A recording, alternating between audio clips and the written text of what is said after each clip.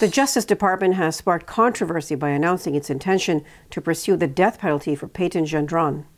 The 20 year old mass shooter killed 10 black customers at a grocery store in Buffalo, New York in May 2022. Gendron was previously sentenced to life in prison without parole for state charges in New York.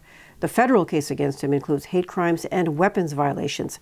Critics, including Equal Justice USA's Jamila Hodge and Congresswoman Ayanna Pressley, argue that seeking the death penalty would not address the racism and hatred behind the crime.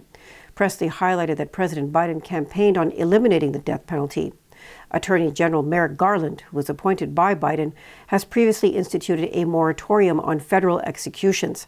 However, the DOJ has chosen to pursue the death penalty in this case, marking the first such instance under the Biden administration.